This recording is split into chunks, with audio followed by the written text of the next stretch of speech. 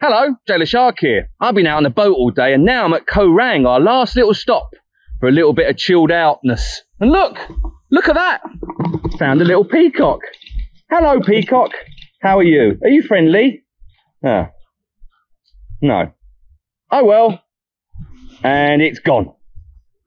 Good. Hide and seek with a peacock.